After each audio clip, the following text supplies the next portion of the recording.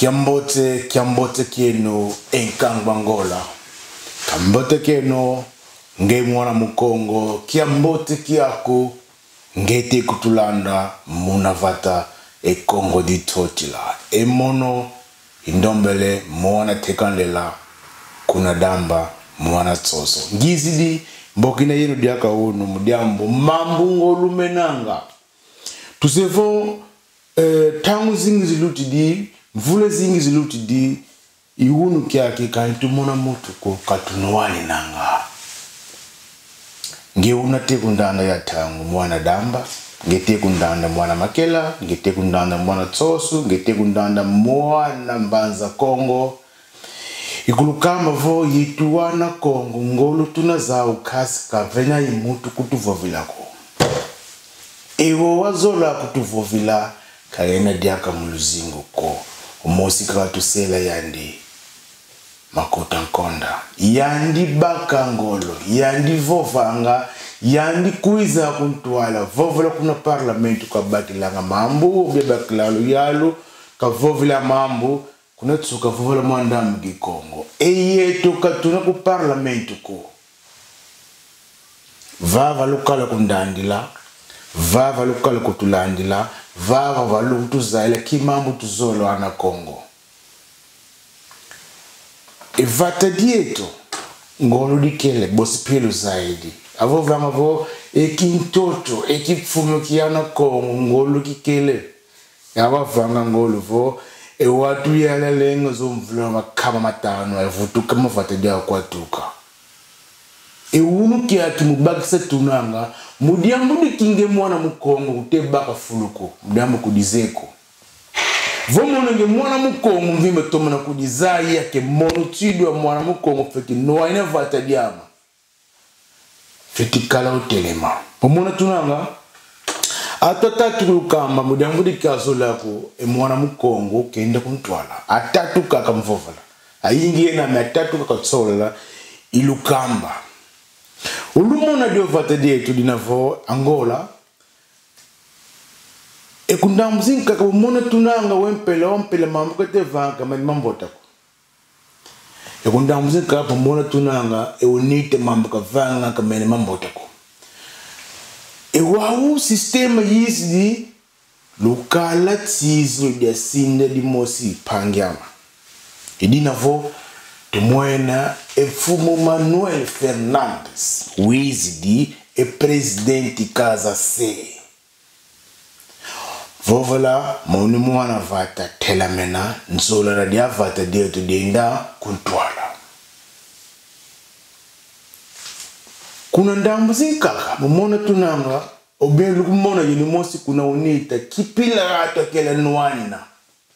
ankaka kutumu kudifundegenagawigawo kendio mundele adalberto cosa jr sakakuma presidente ankaka favalavo kileli sisa fulu kupyo kinave ndio mutu mundela kabaka fulu ki president kukunita tribalism kote ekuna kati kunite kaka mumona tunangavo tukalakala imutu ndio kanikadi presidente unita okinavo mwana mukongo ufwa venema mamangaka vovela mokasi wango tufeti kala vutukile mambu moka luseku motu kala vova yi motu moka nseku tuiza manku tuatu lukamba eunita opresidente savimba okafua tukala mutu ndio usala kani kumi presidente unita dembos ufua kileni vovoku ndio presidente ufua eh, venena mvena atomvonda ah, na damon wengina ijuma iyo kulusongo kutalevaiva kangina yao dina kalukamba vokufwa mudiambu diki mudiambu mwana kongo tukumini tango wao tukeleke eh, samakuvo mukuonjesa kene tetele tetele tetele tetela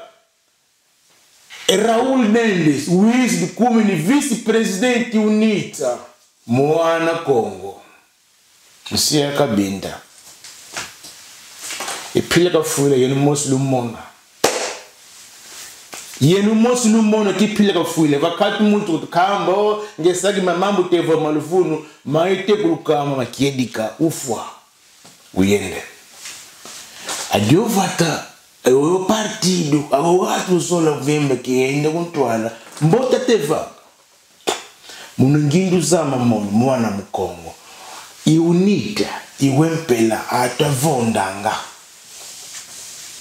kakutukamba wokumomesu za mvula satuna zamu zanji tufeti kimamu teva kimamu temona owaona tangi lidembos irawulu kuafudidi unita wangishidi wakuwempela yeni lumona tokele moto mosi nde okele mvimbaki ngoloka kele fulupinga mwana mukongo kuna makele kwakutukela ndio tata nakafavakena kuna bakela mvimba e, enkango lulu yalu vakele kwakama vo yeni kulu voene vovo nakuluta kufulu kiamba ngomonikele profesor aku kambe nani amvonda yiwunu kyaki vakati mutu kutukamba fulupinga kokayenda qui kipela l'outil, le emvula esiluthi monde.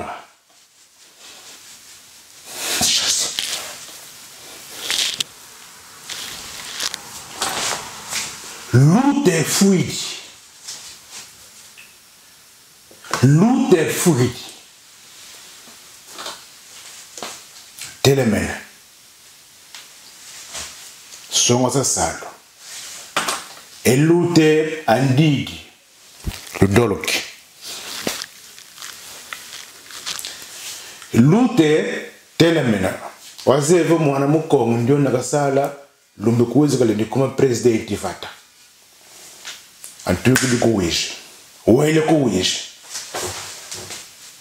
takamanise thangwa mvanako koko tukidi thamakili maladi Lutero. seve ngizdi kake lukamba mweri mamazi matsanga mavaikiti vu mwana mukongo fetizaye kikimwe solala vu mwana mukongo fetisola nzila